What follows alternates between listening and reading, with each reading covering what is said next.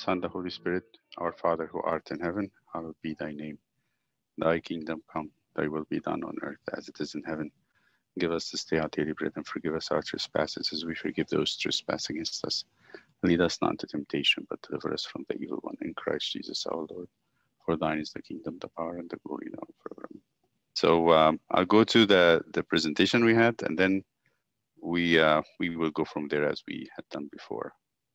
So the the the first two councils that we looked into, the Council of Nicaea 325, and then we looked into the Council of Constantinople, where the two pieces of the creed were um, made, and uh, the next council in Ephesus is where what we have we call it an introduction to the creed was done. It's 431, and this uh, subject.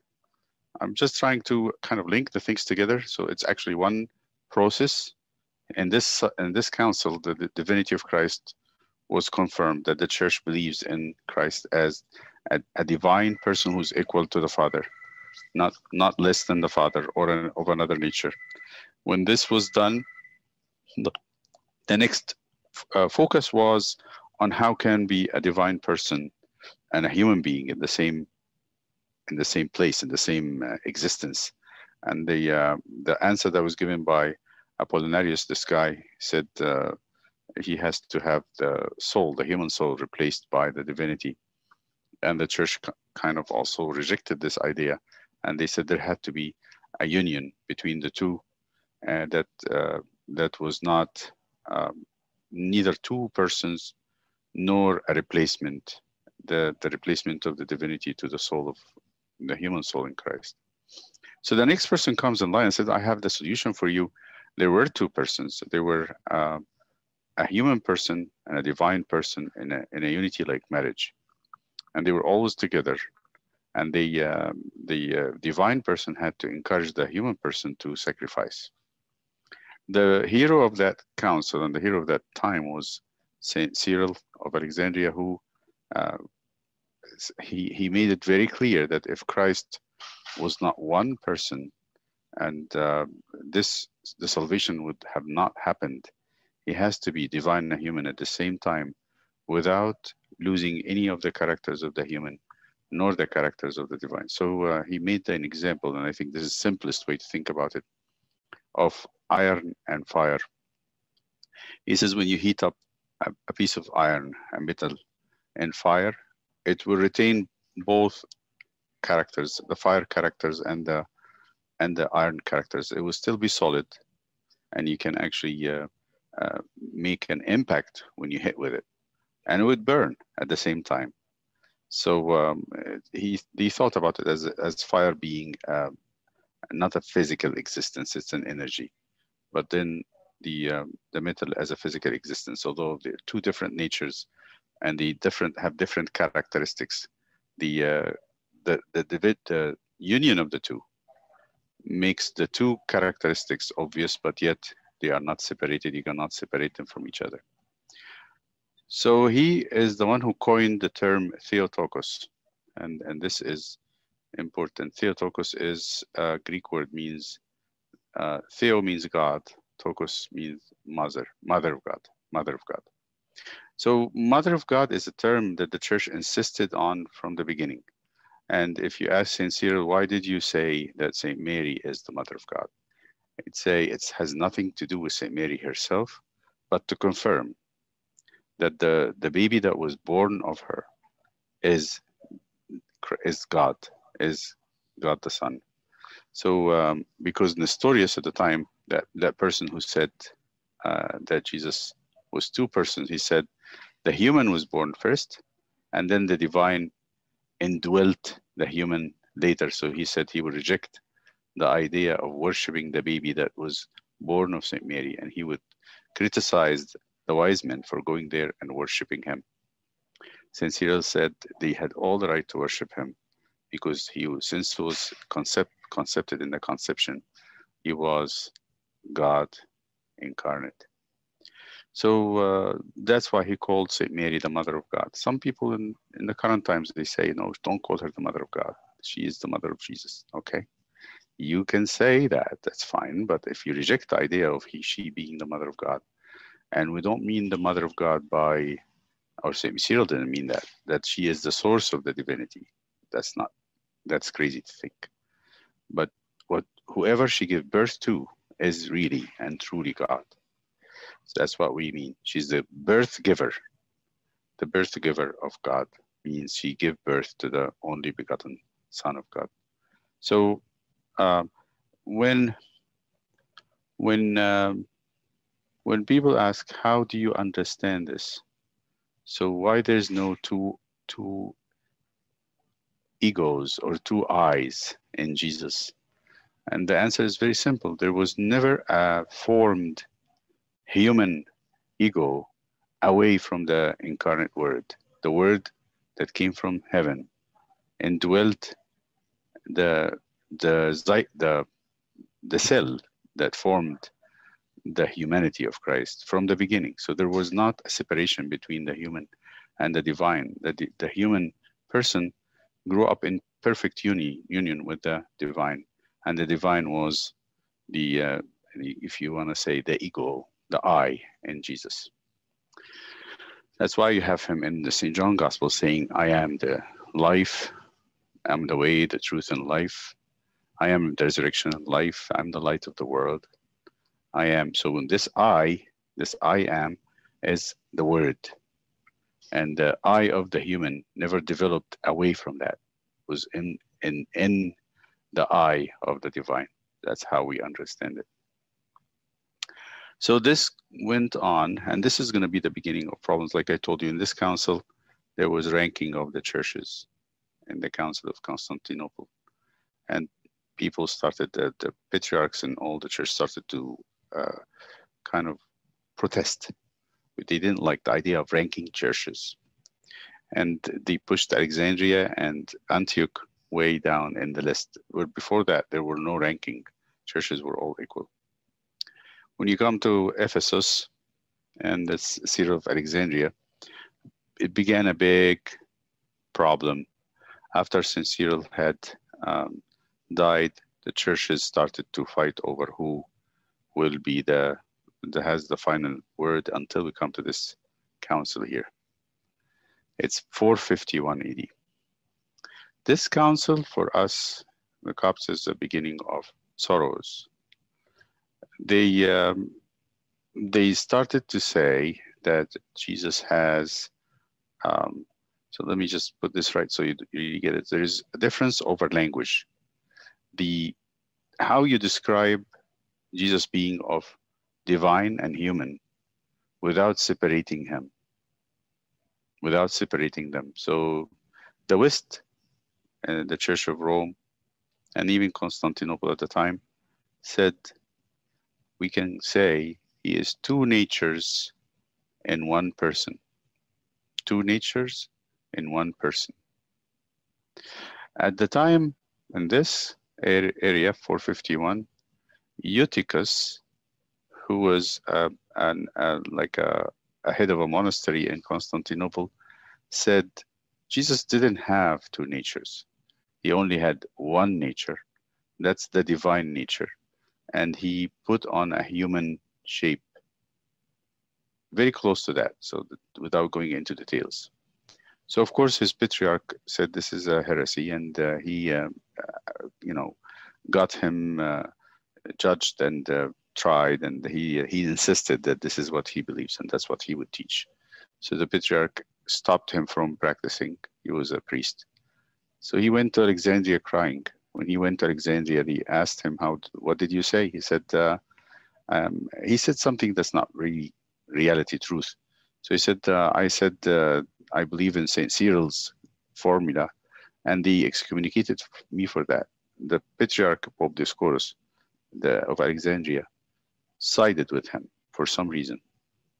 He never, so Pope Dioscorus at the time in Alexandria never got uh, the truth. So uh, he did something wrong. What did he do, Dioscorus, our patriarch? he reinstated him back into his rank as a priest. And we totally agree this is a mistake. He should have not reinstated him back. He's from Constantinople. He should have left the Patriarch of Constantinople to deal with him. And if they needed to have a council, there would be a council of more than one church. That's the way it should be done. But Pope Dioscorus went on and, uh, uninformed, reinstated Eutychus, that uh, heretical person, into his rank. When this happened and the Patriarch of Constantinople heard about it, he got angry and he called a council against Pope Dioscorus. So they brought Pope Dioscorus to a place called uh, Chalcedon, and that's again in Turkey in Asia Minor. And there they tried him. They had not even listened to him. The, he didn't even was admitted. He was not admitted to the council. And out, yeah, go ahead. How are because of uh, communication barriers from uh, today to then? How long was he accepted back or reinstated back before others had found out? Uh, the, Eutychus, the the priest. Yes, when he when he's I, like, I wouldn't I wouldn't have the answer. Maybe I we can go if you have if you if you want to know we can go to. Uh, it was just a Yeah. curiosity. Just I to- I will I will have I think it's a good idea to go and uh, let's let's go do that. Okay, so screen share.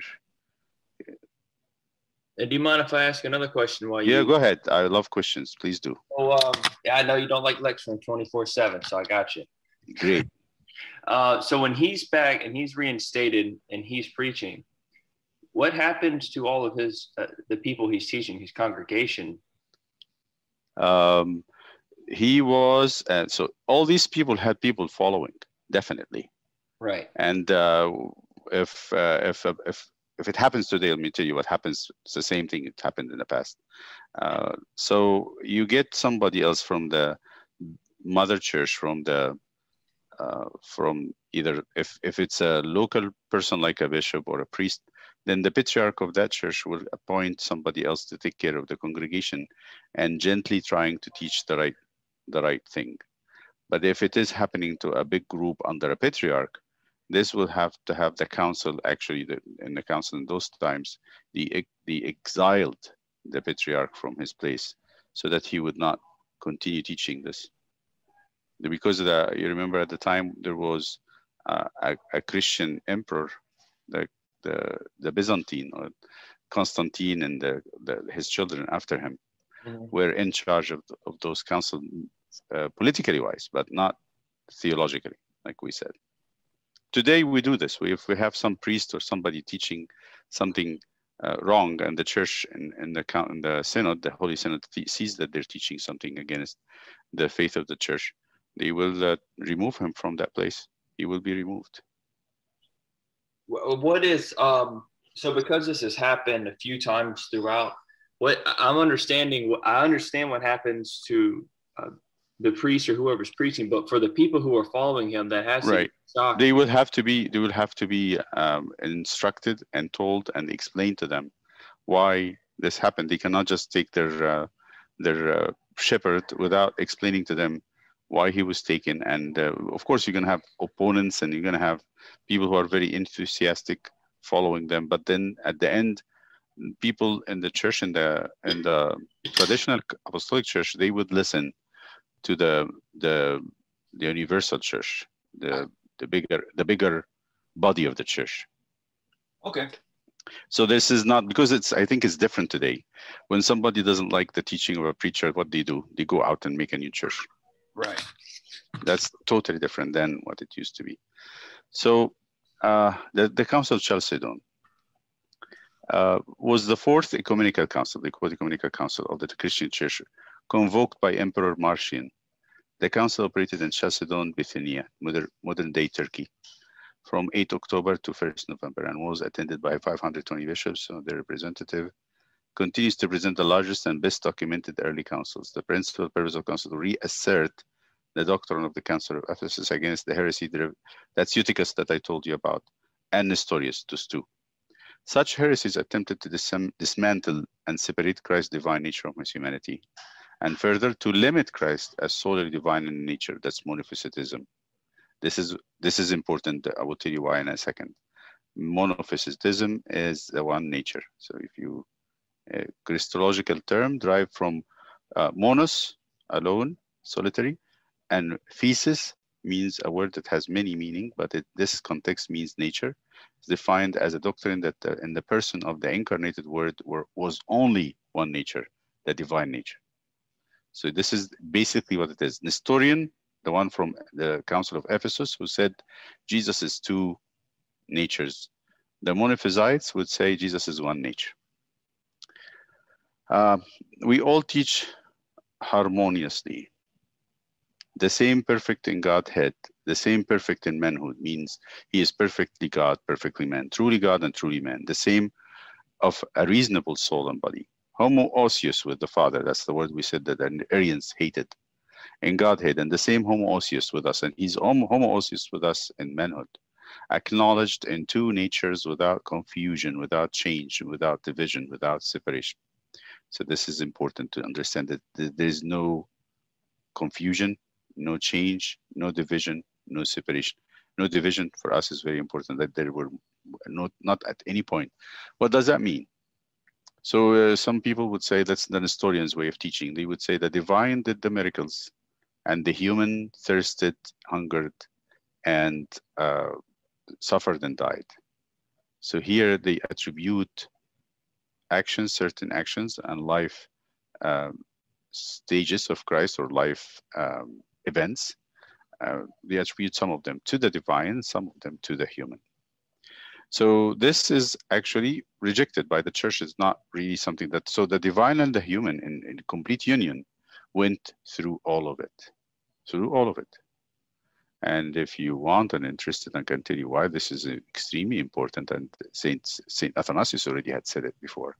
Mm-hmm. Uh, I uh, I was teaching this in the seminary about why did Jesus have to be incarnated and to die and to rise? Why? And we said it's very important to understand the the the reasoning behind that. Otherwise, all this will make no sense. Or what we're discussing it's all just um, mental mental exercise. So they say um, Saint Peter in, the, in his first letter, I think he said that why did Jesus have to suffer, but to bring us to God, to bring us closer to God. So this is the understanding of the church that by Jesus being incarnated, the gap between us humans and God is bridged. And we talked about this. I think you attended one of those so that he he had to be born because the first birth happened after the separation happened after the sin. He had to be to be to be to die because death didn't happen when we were with god it happened outside because that's how death is is, is a separation from god but he died um, in uh, in the flesh you say died in the flesh. So jesus by becoming incarnate and suffering and dying, he bridged the those two items that separated us from God. He died to also to cover this, this, the sins and its results that really separate us from God. So you have those two aspects: the natural separation and the moral separation. The moral separation is sin. When we uh, are uh, when we break the commandments, we are not like God. We're very far away from God.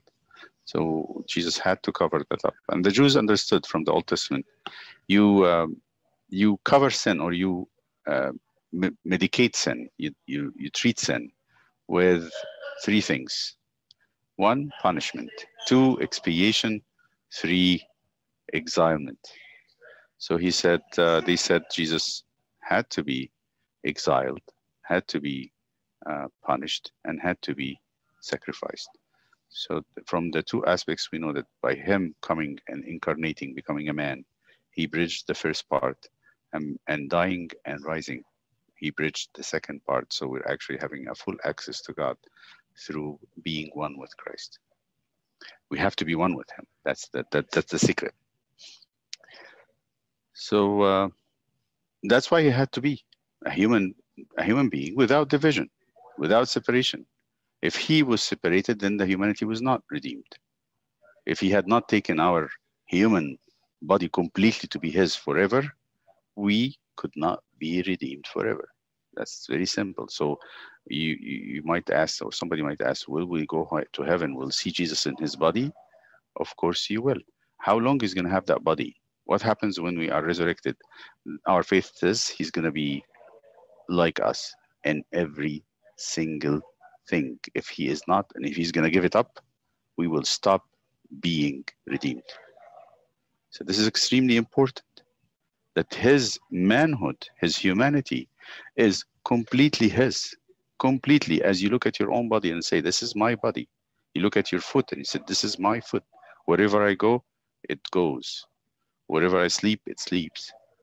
So this is extremely, extremely essential in our understanding of the Bible and our salvation. While this judgment marked significant turning point in the Christological debates, also generated heated disagreement between the Council and the Oriental Orthodox. This is us. This is Oriental. This is um, uh, Armenian. That's Armenian Orthodox. Who are the Oriental Orthodox? Now we, we, we're, we're turning into um, an important piece here. So a group of Eastern Christian churches adhering to what we call Miaphysite. This is important, not monophysite, Miaphysite Christology, with a total of approximately 60 million members worldwide.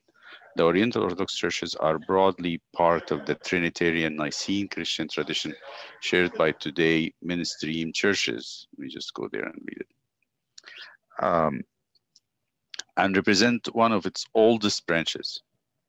As some of the oldest religious institutions in the world, the Oriental Orthodox churches have played a prominent role in the history, history and culture of Armenia, Egypt, Eritrea, Ethiopia, Sudan, Western Asia, and India.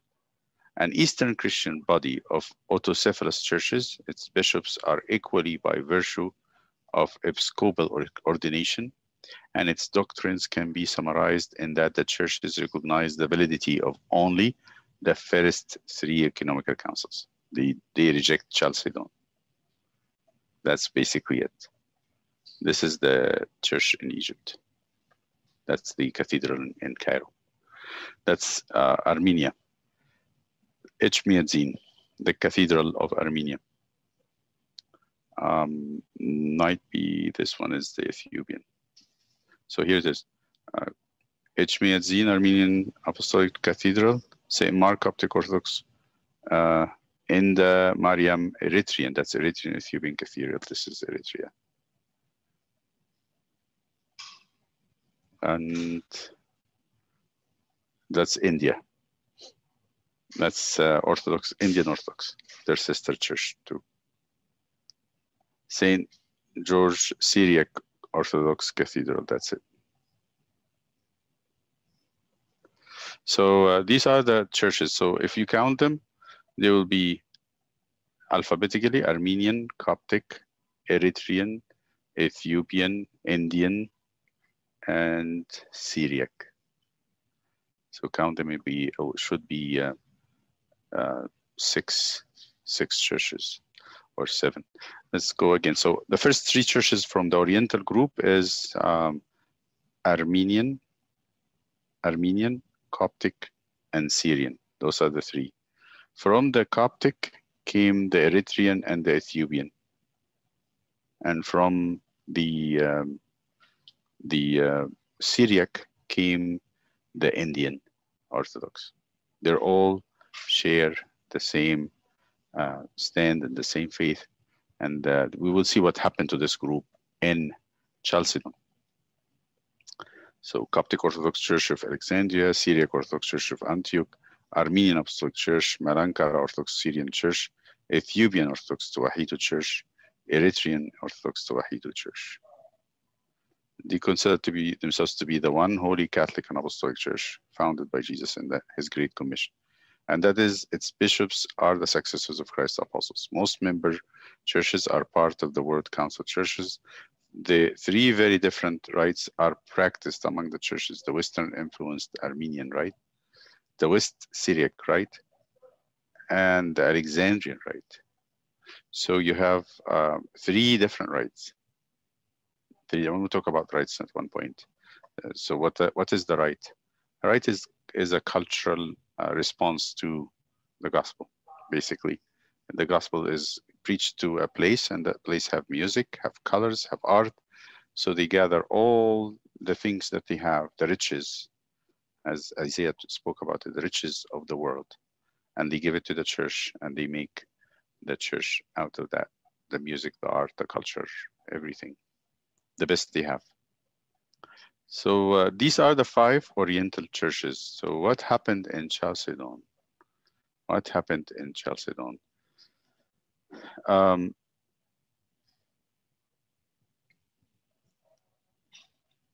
generated heated disagreements between the between the council and the Oriental Orthodox Church, who did not agree with such conduct or proceedings.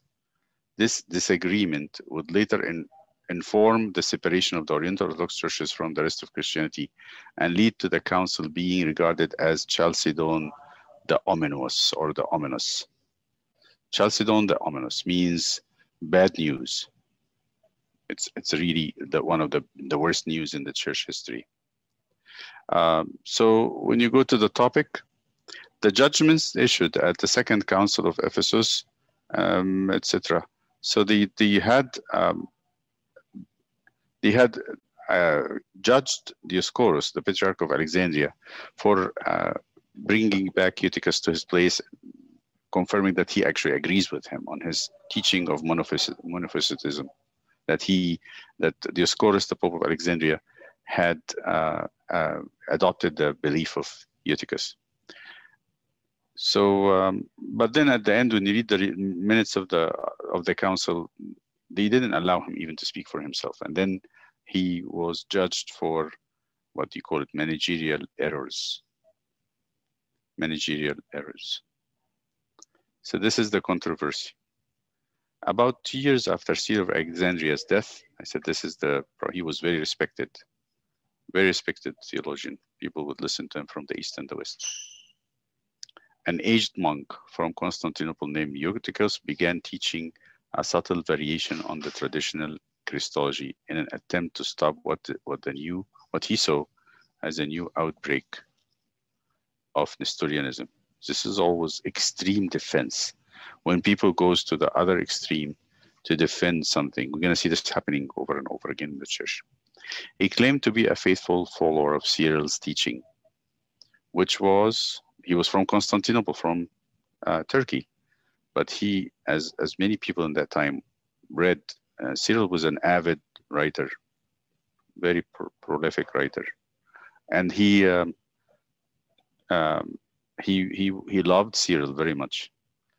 So Cyril had taught that there is only one physis, since it is the incarnation of God, the Word. So he's saying, you can say physis as nature, but it, it doesn't have to, to mean a singularity.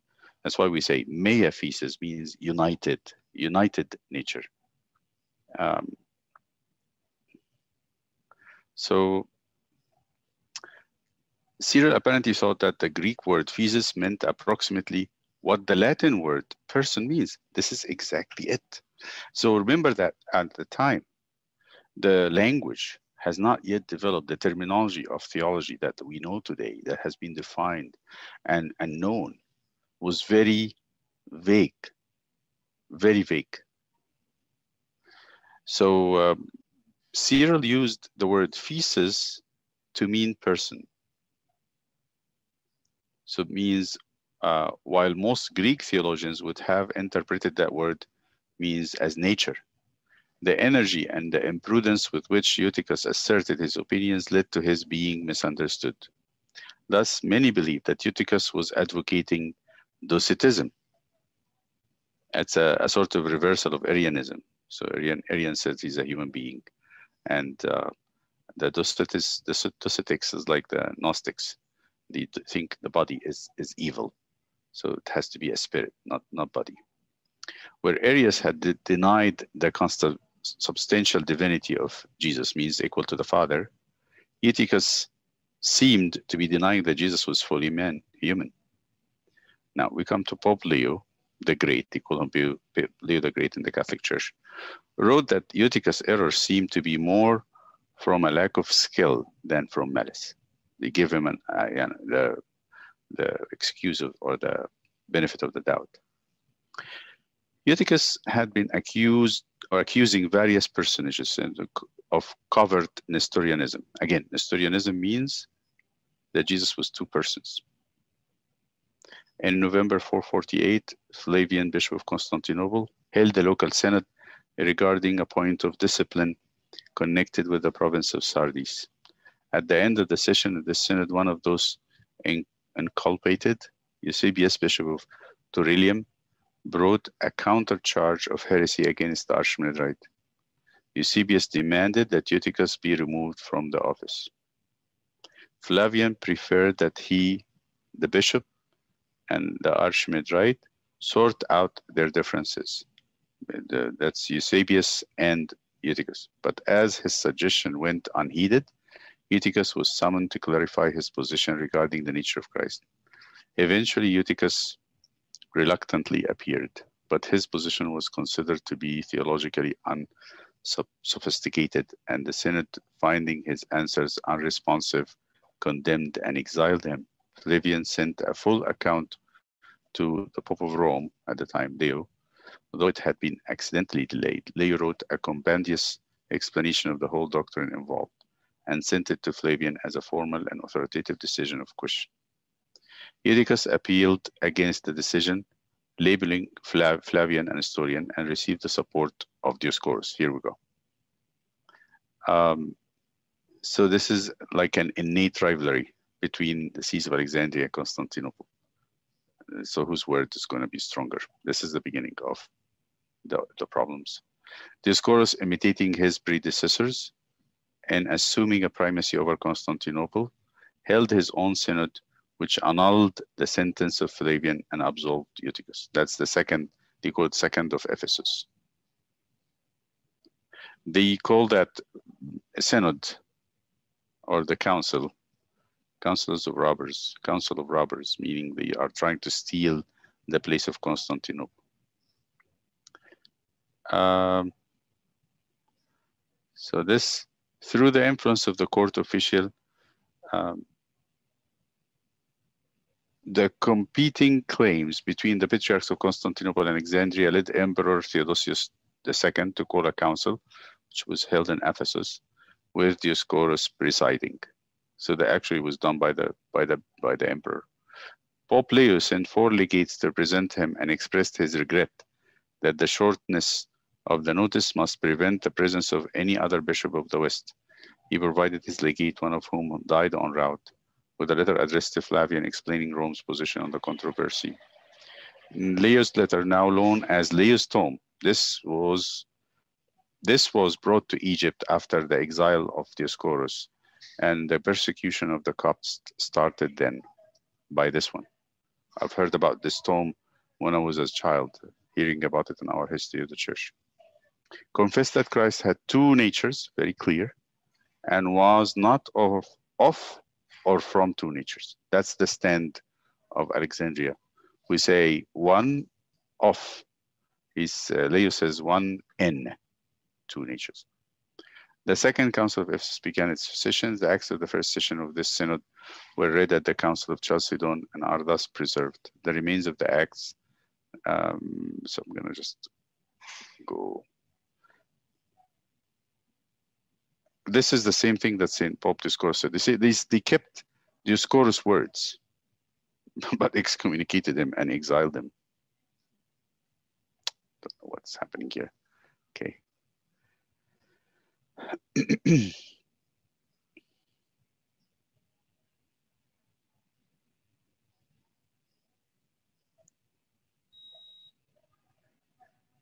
okay, here is the important piece.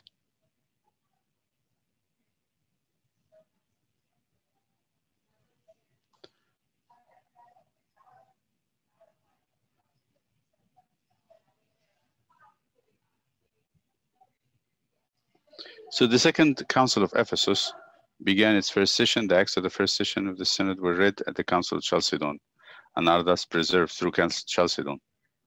The remainder of the acts are known through a Syriac translation by Amir. Ah, hate this.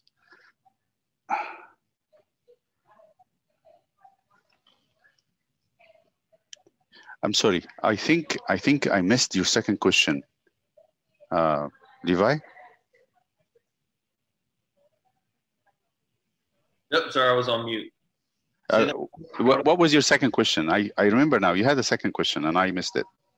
No, no, no. You were you were telling me uh, the first question was about the priest, but the second question was about what happens to their following or the congregation. Oh, that's the second one. Sure. Because uh, yeah, the first part was over the timeline, just because it, someone would have had to have gone back and said, "Hey, this guy is still preaching the same thing." So either they were checking in on him, or I was just curious how he got caught. Because I think I um, I believe that he the, in those times people are very keen on learning and teaching the teaching was very important and they were listening with all intent. So if somebody would listen and hear something a little bit unusual, they would report it immediately. Gotcha, gotcha. Yeah, it's not like today. There's lots of uh, people talking, and there's YouTubes and there's recordings, and you know, it's it's it's there's no end to the noise today. But then those times, you used to go. People used to go physically to the church to listen to the preacher. Okay, um, so they they did the Council of Ephesus, and they they uh, moved to, and the Council of Ephesus was uh, ordered by the Emperor Theodosius II. Um, throughout the proceedings, Hilary, one of the papal legates, repeatedly called the readings of Leo Tome, but was ignored. The Eastern Orthodox Church has very different accounts of the Second Council of Ephesus. Pope Dioscorus requested dif- differing reading, deferring the reading of Leo's tome, as it was not seen as necessary to start with and could be read later.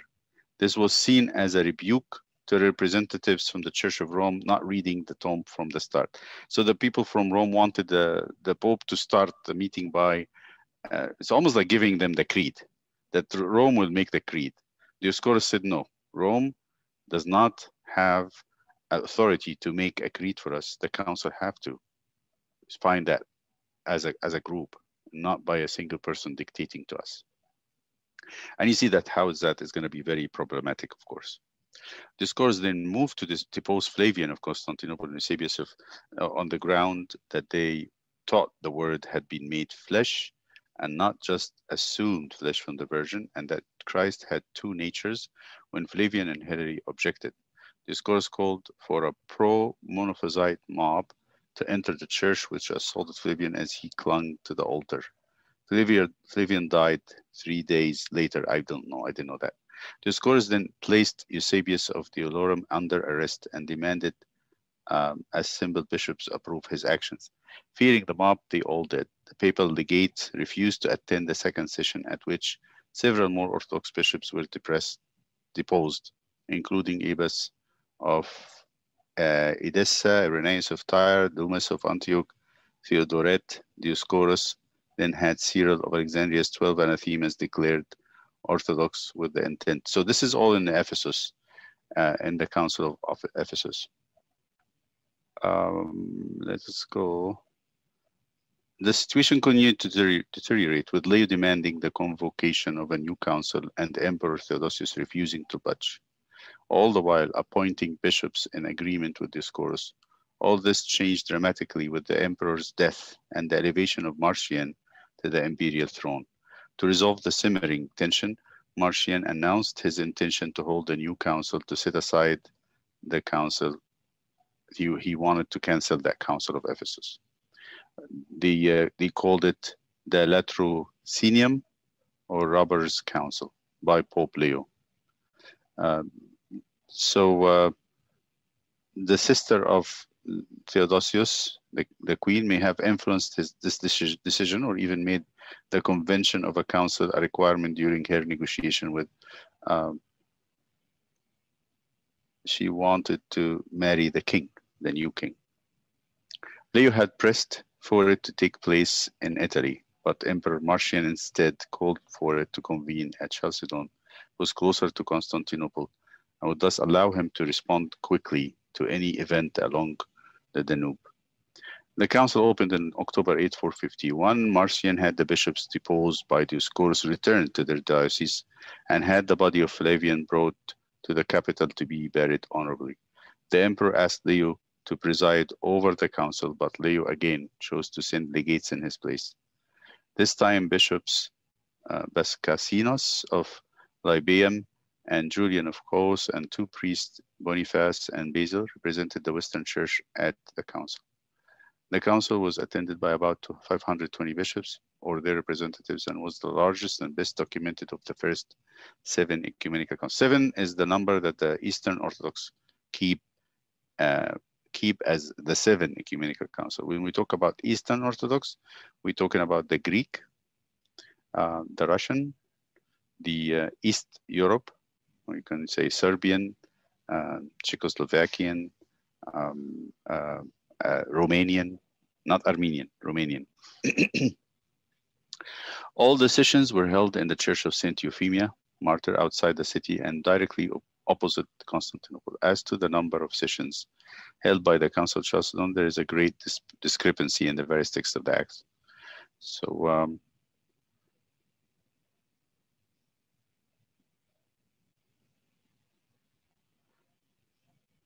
someone had refused to give Dioscorus, who has excommunicated Leo already, leading up to the council. He before he went into the council, Dioscorus excommunicated Pope the Great Leo of Rome. Uh, so they uh, refused to give him a seat at the council. As a result, he was moved to the nave of the church. Paschasinus further ordered reinstatement of Theodoret and that he be given a seat. But this move caused such an uproar among the council father that Theodoret also sat in the nave. Though he was given a vote in the proceedings, which began with the trial of Dioscorus. Marcian wished to bring proceedings to speedy end and asked the council to make a pronouncement on the doctrine of the incarnation before continuing the trial. The council fathers, however, felt that no new creed was necessary and that the doctrine had been laid out clearly in Leo's tome. They were, they were also hesitant to write a new creed as the first council of Ephesus had forbidden the composition or use of any new creed.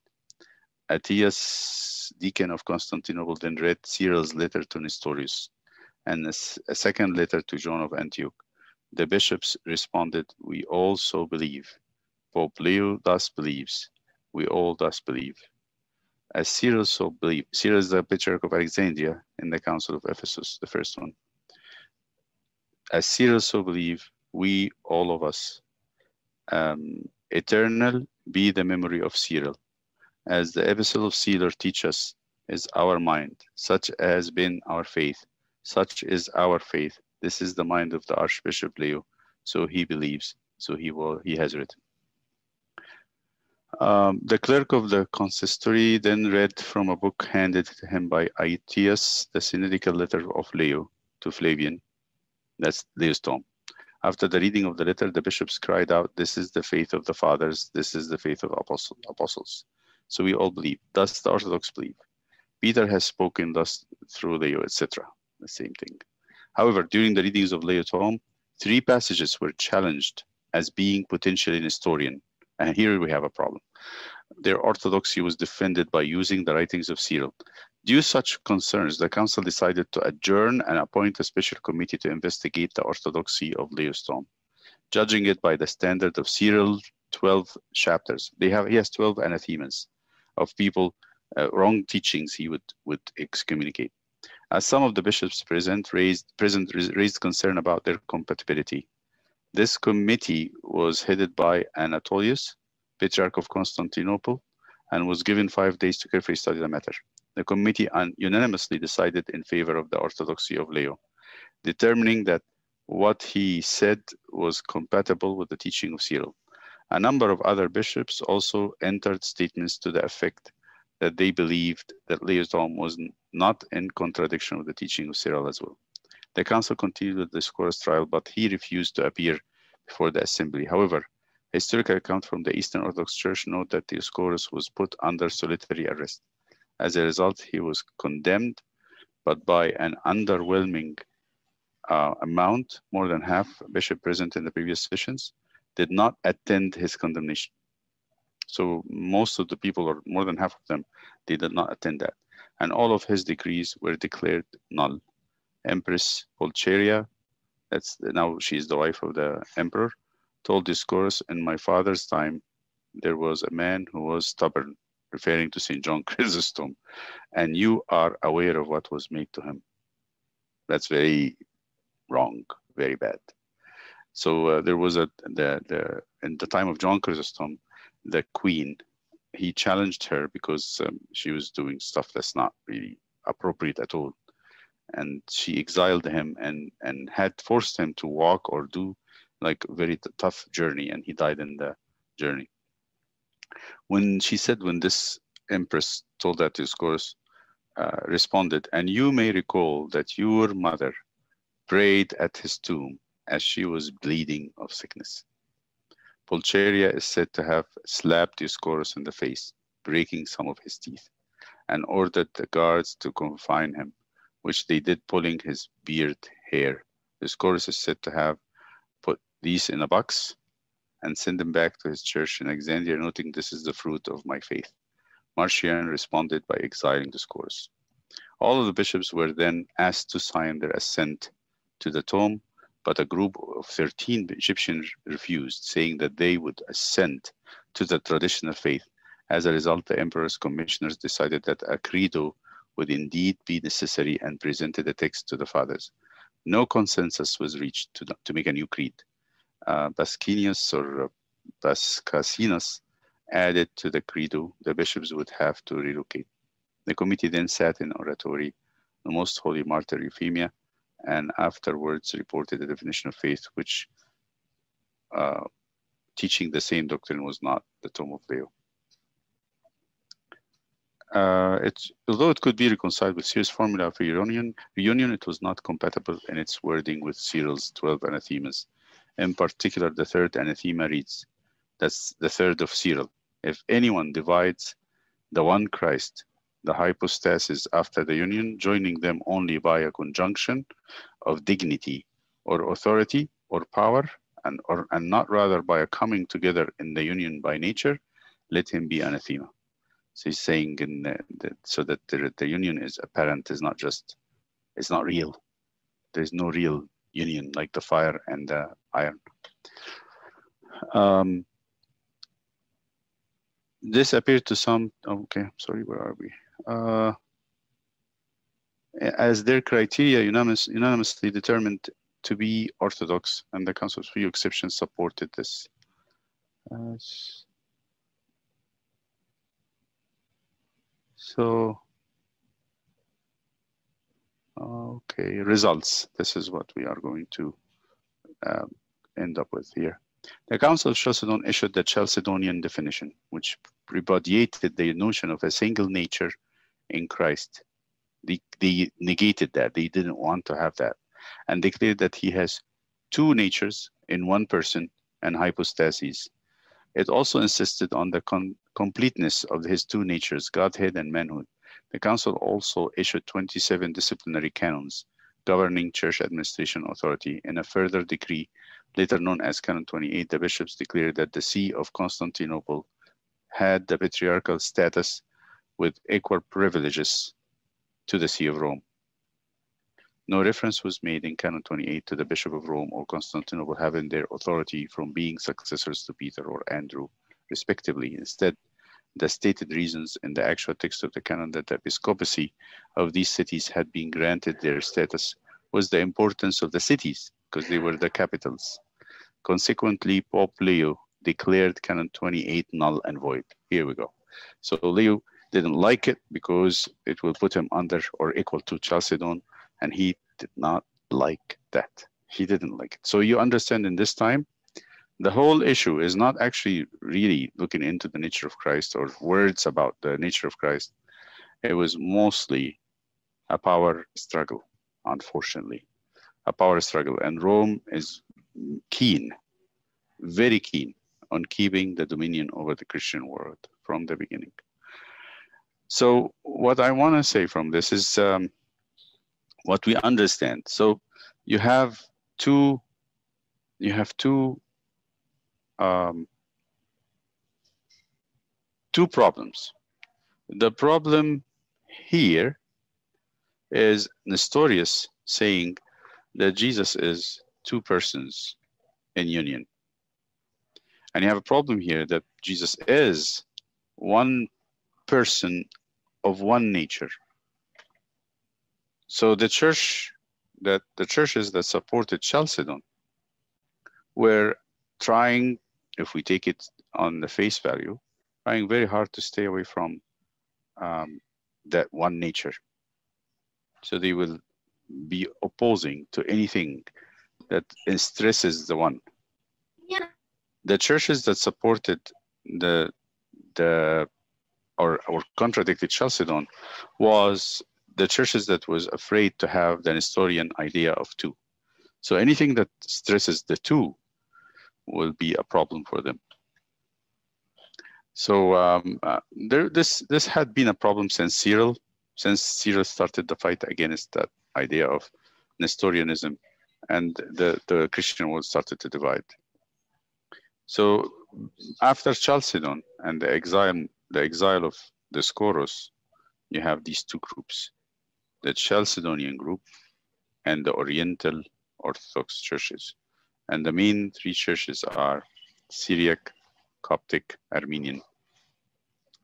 Um, this is the first beginning, the beginning of the division of the Apostolic Church. So this, the beginning of the church breaking down. That's it. So here, you, you, this is where the Coptic, this is us in, in red. We stop here. Our history that does not change from here onward. That's the same. The Chalcedonian church is not doesn't stop because Rome of, of Rome insistence on the the dominance of the Christian world. You get another one, a break again. Chalcedon and Rome, who is always going to fight for who has, at least Chalcedon didn't say we want to be the preeminent. Um, Rome said we have to be the preeminent church. We have to be the the supreme, the father of all the churches. So Chalcedon at one point, we'll do, we're going to talk about this next time. Uh, this is uh, Pope Leo the Ninth. Um, we're going to talk about that in 1054. Chalcedon is 541. 1054 is uh, the Great, it the Great Schism, and we're going to say why it's called the Great Schism. You might say this is the, Lesser Schism or the Little Schism because the, the amount of Christians that was actually uh, kicked out of the of the union are not as big as this one. So we're gonna talk about this next time. Okay. Any questions? Any thoughts about this? If you have any questions, it would be great. Or at least if we can think about them until we meet next week. I wanted also to do something. So uh, this is one side. This is the history part of it. But the other sides of the church, which is the church traditions and the church uh, way to see this is what we want to go. But I will build on the skeleton of the history. At least you understand where things are. Every we, we want to go and, and and just you know find out where are the other denominations come from. Like you have uh, after that in the Middle Ages, in the 16th century, 17th century, started the breaking down of the other denominations from the Catholic Church. You get you get all these denominations: Presbyterian, Congregational, the Baptist, Pentecostal, uh, Anglican, the uh, the Episcopalian, um, the Reformed Church, the Anabaptist, the Lutheranism, Mennonites, and then and then very soon, very recently, what's going to be in the if we have another page, it would be the non-denominational, which is like the one of the recent arrivals. Okay, that's that's it for today. Please bring your questions. If you had a chance, look at the book of Saint Athanasius. That would be. So I'm not going to ask you to read too many things, but uh, keep in mind we need to uh, memorize the creed if possible, the creed, and um, and if we can get uh, like a, a, quick reading and take pieces from the incarnation of the Word by uh, Saint Athanasius of Alexandria. Okay, let's say our Father, and then in the Father and the Son, and the Holy Spirit. Our Father who art in heaven, hallowed be thy name. Thy kingdom come. Thy will be done on earth as it is in heaven. Give us this day our daily bread and forgive us our trespasses, as we forgive those who trespass against us. Lead us not into temptation, but deliver us from the evil one. In Christ Jesus our Lord, for thine is the kingdom, the power, and the glory, now forever. May the love of God the Father and grace of only begotten Son, Jesus Christ, and the fellowship of the be with you. Peace be with you.